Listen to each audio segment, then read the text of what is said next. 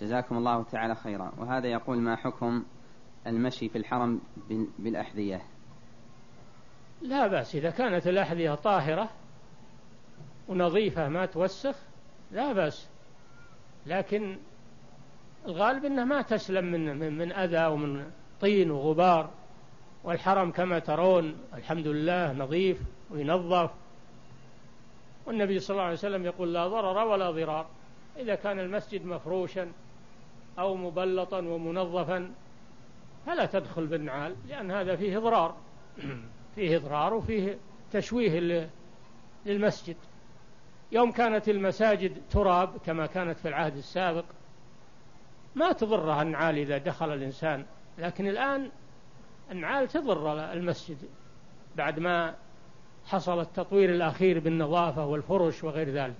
نعم.